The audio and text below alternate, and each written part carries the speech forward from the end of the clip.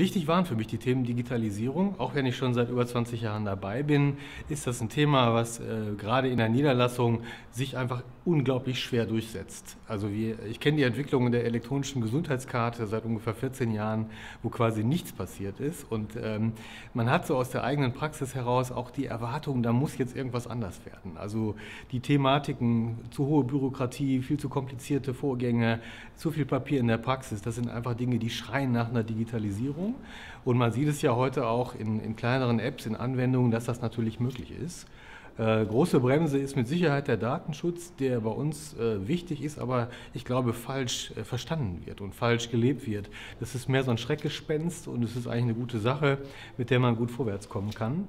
Und äh, vielleicht ein Thema im Rahmen der Digitalisierung, das, was mit den vorhandenen medizinischen Daten heute machbar wäre im Sinne der Weiterentwicklung des Gesundheitssystems, ist ja unfassbar von den Vorstellungen, was man damit machen kann.